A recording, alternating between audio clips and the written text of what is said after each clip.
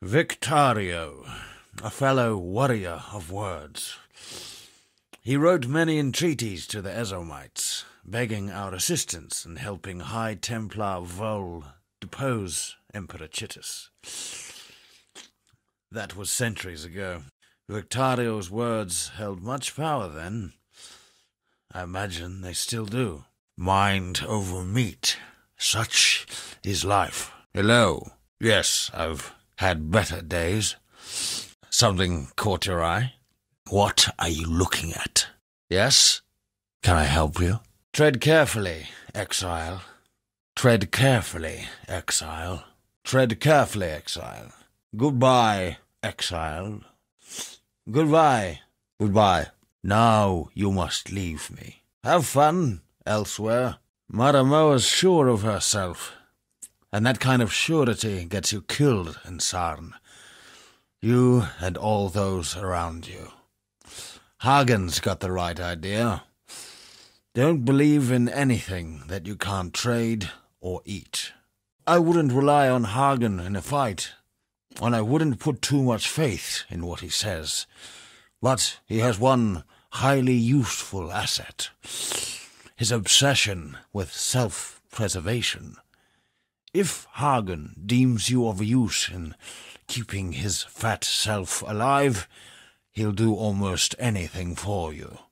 Piety's a genius, sculpting mere human clay into divine gemlings. At least, that's what she told me when she opened me up and buried a virtue gem in my entrails. Malachai did the same in the name of the Emperor centuries ago. Chitus's gemlings still rule Sarn. We call them the Undying now. I tried to penetrate the Solaris Temple in the northeast. Almost got myself killed by the bloody ribbons that guard the place. Bizarre, floating tapestries they are, creatures of cloth and thaumaturgy. Fortunately, a few legionnaires got in the way. While the ribbons eviscerated them, I ran straight into Gravicius. He dragged me over the bridge to the Lunaris temple in the west and put me in Piety's tender care. Didn't say a single word to me the whole time. I was nothing but a spoil of war to him. I walked halfway across this forsaken continent because of an ode. Of jewels and eternity, it's called. For twinkled promises of jewels and eternity, the gemling queen gave her heart and body to the king of shades for one more day in the sun, the last day in the sun. That's but a portion of the full epic. The Gemling Queen lived, and she's the enigma behind the fall of the Ezomytes and the Eternals both. Look to the Solaris Temple to the northeast. Find the Gemling Queen's remains before piety does, and destroy them. Death came to town. The roaring Ezomytes wore red, the red of blood, the red of the fray. Death came to town. The crying Ezomytes wore black, the black of disease, the black of dismay. Death came to town. The silent Ezomytes wore grey, the grey of twilight, the grey of decay. Only the Isles of Scoth were spared. Once a backwater of my proud civilization, now all that remains of the Ezomytes. The Gemling Queen, she's impossible. How did she survive? Why is she not one of the Undying? No, no, these questions can wait. There's a more pressing one. Is she safe from the Ebony Legion? That's dark news indeed. If Gravicius has the ribbon spool, then it's only a matter of time before the Ebony Legion breaks through the bloodied ribbons.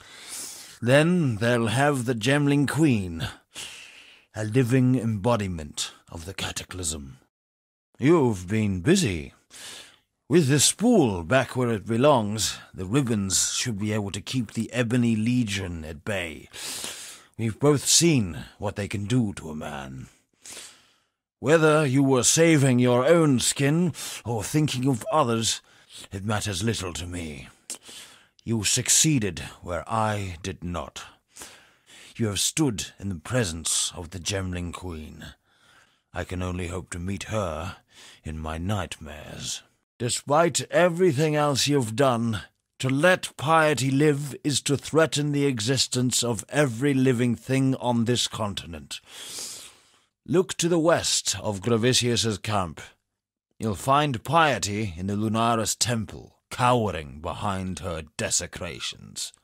The Eternals revered sun and moon as the two eyes of their god. The right eye judging Solaris, the left eye merciful Lunaris. I can't imagine that god being overly merciful when she finds out what Piety's been doing in her temple. Piety dies amongst her abominations, her warped dream taunting her, maddeningly out of reach.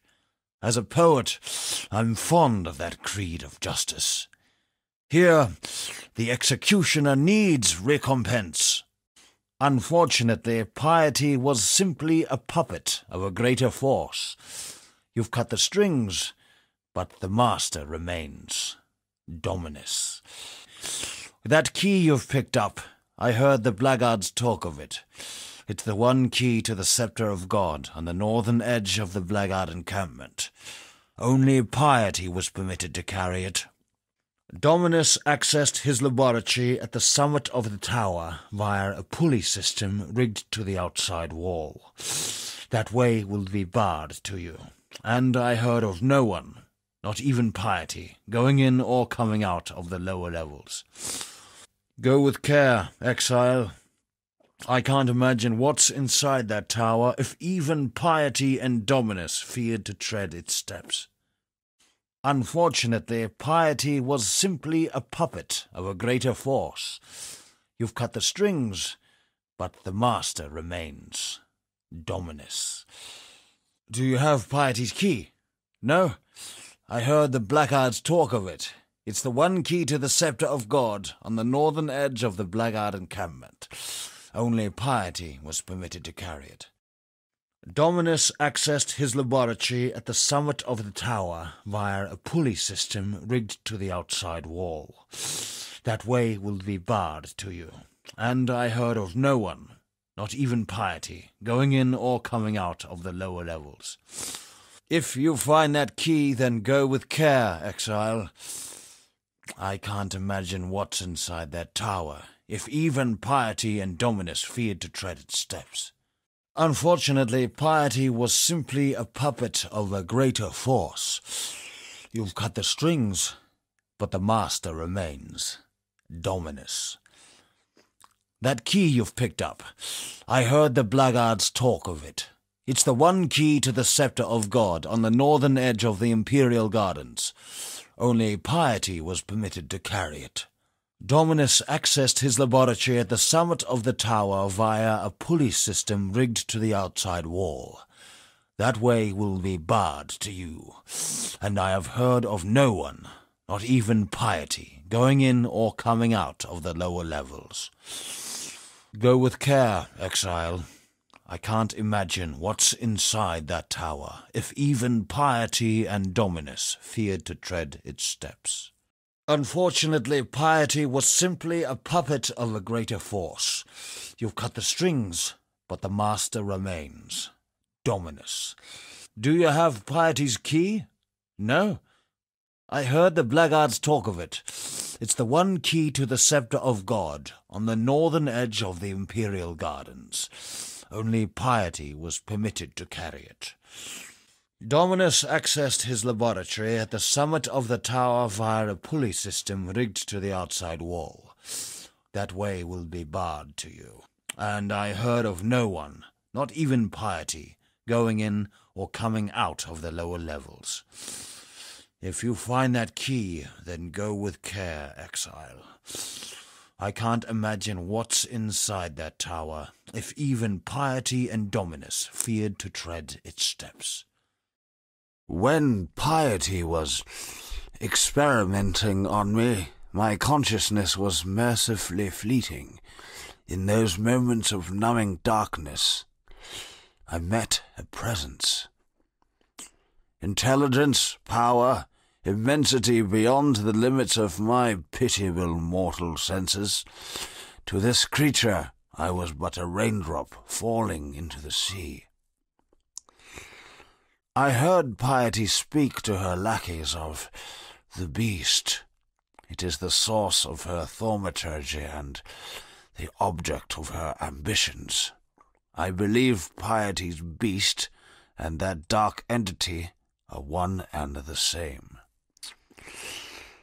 Wherever it is, whatever it is, the beast is the cause of my malformation. It would not be a stretch of reason to consider the beast the source of all malformation in Wraeclast. Listen carefully, witch. Thanks to your sister in art, piety, I no longer dream when I sleep. I only have nightmares. The same nightmare over and over. The mirror. It's never my reflection looking back. The first time that mirror appeared to me, it was Cole I saw, a rapist from Oriath I had the displeasure of sharing a pen with in Gravicius's stockade. Piety took him for her experiments, and that night I saw her handiwork while I slept. This time it was Tolman, flesh dried to leather, organs shrunk to husks, blood trickling through his skeleton like red dust in an hourglass. It's piety's gift to me, that mirror. At least I won't be seeing Clarissa the next time I look into it.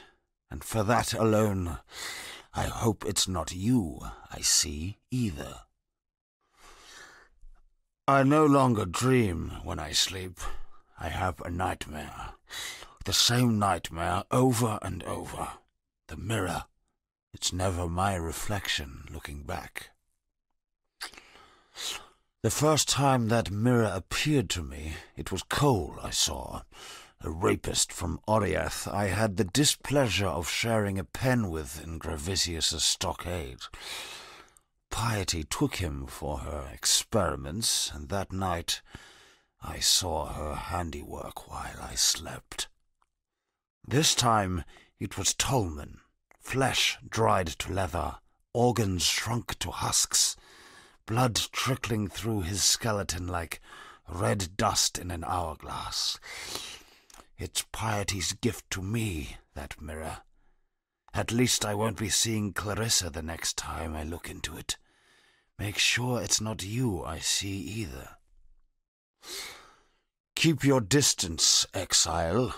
The name's Grigor, and when you've had your eyes fill of my twisted visage, how about you turn those fine jellies of yours eastward?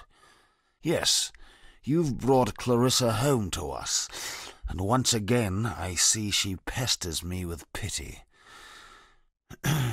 There's only so much broth, so many bouquets that a man can take. For a criminal, Clarissa has a strangely soft centre.